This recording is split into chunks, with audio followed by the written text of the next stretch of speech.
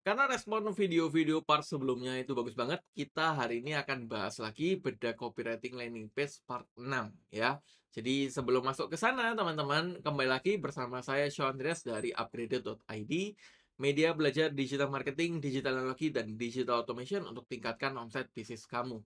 Nah, di video kali ini kita akan bahas atau belajar tentang beda copywriting landing page part 6 ya. Jadi Sebenarnya teman-teman ini sesi yang saya buat, eee, secara random ya, tapi kalau, eee, saya lihat, oh responnya bagus juga gitu, banyak yang terbantu, eee, saya akan buat lagi part-part selanjutnya ya. Dan kalau misalkan teman-teman di sini ingin copywriting landing page-nya dibedah, bisa tulis di kolom komen ya, nanti kita akan buat di part selanjutnya, oke? Nah, eee, saya akan masuk langsung ke layar laptop saya teman-teman.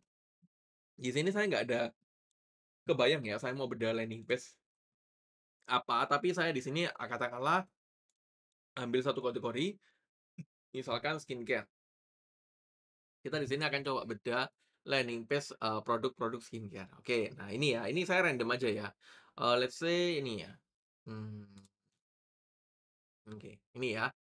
Oke, saya akan bedah yang pertama jelas dari anatominya terlebih dahulu ya, agar teman-teman di sini lebih paham. Oke, biasanya saya akan bedahnya itu seperti ini teman-teman, kita akan bahas anatominya terlebih dahulu. Ini ini udah tampilan info sih kayaknya, oke. Oke, mmm, kita akan bedah yang pertama di sini kalau kita lihat bentar ya. Oke, yang pertama kita di sini lihat ini adalah pertanyaan headline ya. Lagi bingung cari skincare yang cocok buat kamu? Oke, terus di sini ada coba scroll ke bawah ya, walaupun ini call to action-nya nggak bisa dipencet ya. Terus di sini adalah offer-nya teman-teman. Offer yang mana ini fiturnya ya, eee, fiturnya apa aja. Terus di sini kalau kita lihat, eee, ini ada offer juga, manfaat ya. Oke, terus di sini ini juga manfaat teman-teman. Ini ada offer lagi, fitur produknya. Terus kalau kita lihat di sini adalah manfaat lagi ya, offer, manfaat. Eee, BTW ini saya juga nggak tahu ya, ini brand-nya siapa teman-teman. Jadi, eee, saya coba akan memberikan sedikit, mmm, review teman-teman yang menurut saya bisa lebih dioptimalkan ya.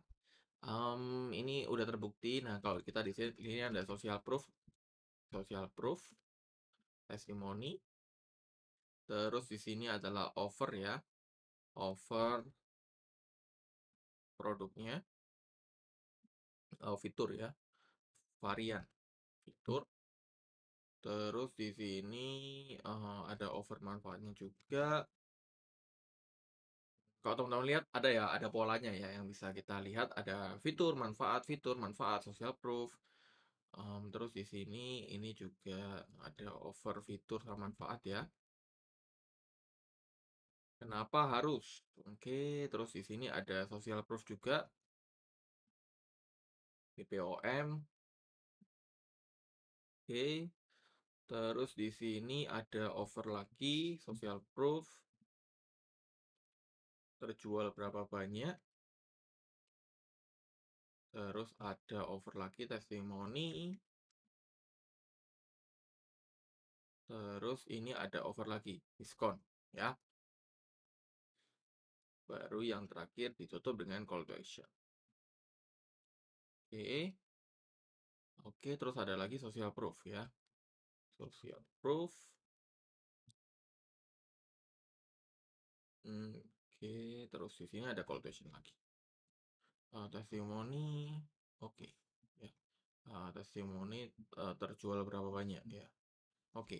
Oke, nah di sini teman-teman, eee, saya akan coba eee, kalau kita lihat ini elemennya teman-teman yang dia pakai ya, jadi ada pertanyaan, headline, ada offer fitur, offer manfaat, offer fitur, manfaat, social proof, offer fitur, manfaat, fitur manfaat, social proof, offer offer offer, eee, ini social proof ya. Oke, ini, oh social proof nih, bentar ya. Terus di sini ini social proof lagi.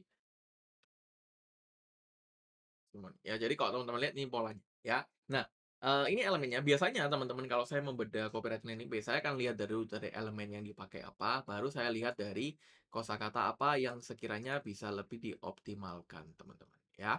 Oke, sebentar lagi kita balik ke sini dulu. Eee, kita lihat lagi bingung skin eee, lagi bingung cari skincare yang cocok buat kamu. Oke. Nah, kalau saya ya, kata kamu, saya akan ganti buat kulitmu, ya. Ini bisa diganti kalau saya, ya.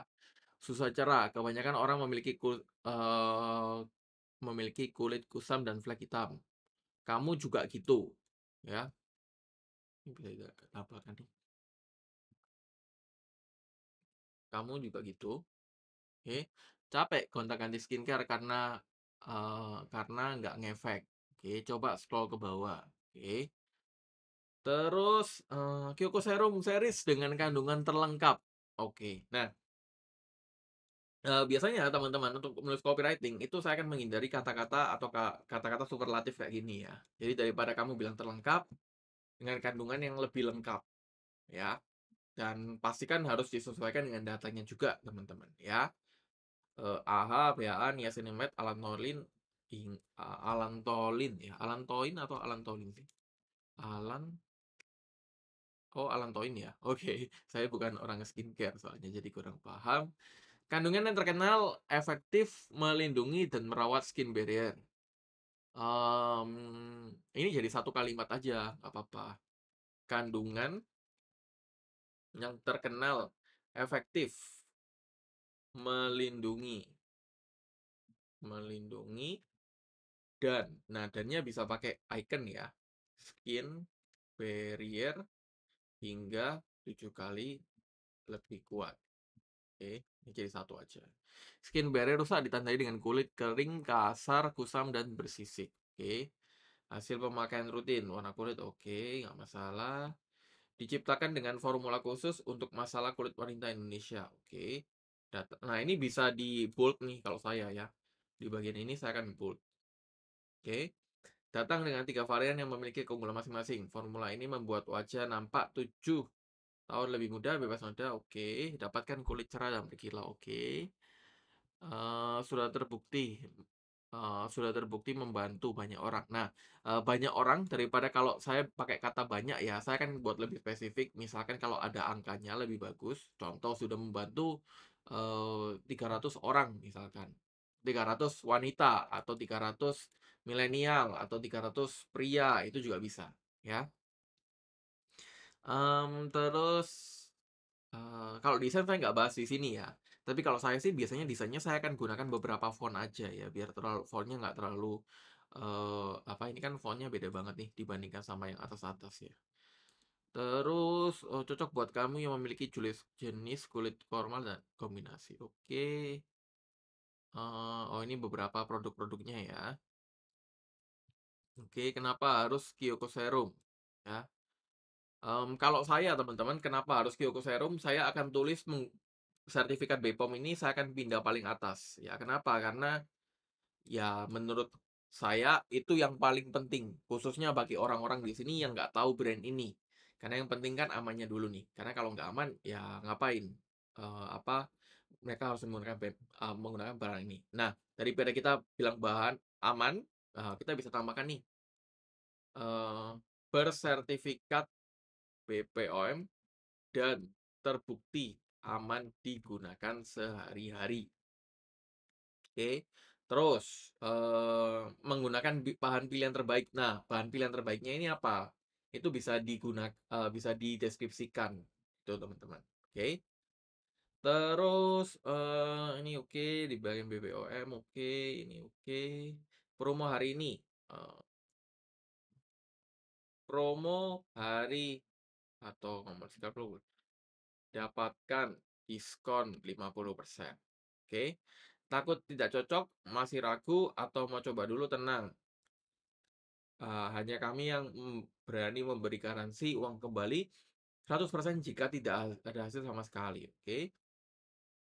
Promo hemat. Beberapa orang bilang kemahalan, tapi pada akhirnya kualitaslah yang berbicara, oke. Promo nggak, eee, tiap hari ada, jadi order sekarang juga, oke. Nah, di sini teman-teman di spasi ya, jadi di sini, oke. Terus, eee, lebih dua ah, ini bisa ditambahin nih, lebih dari 25.000 plus paket terkirim setiap bulannya, oke. Sabun yang sangat diminati dan memberikan manfaat banyak orang. Nggak ada waktu transfer, COD-in aja, oke. COD-in aja.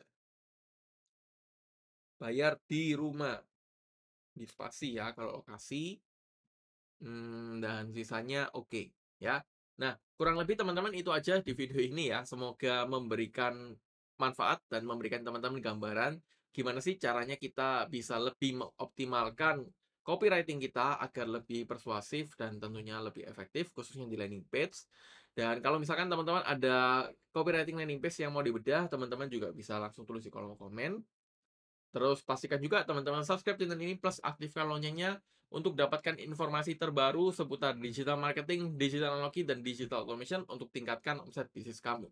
Itu aja di video ini, sampai jumpa di video yang lain.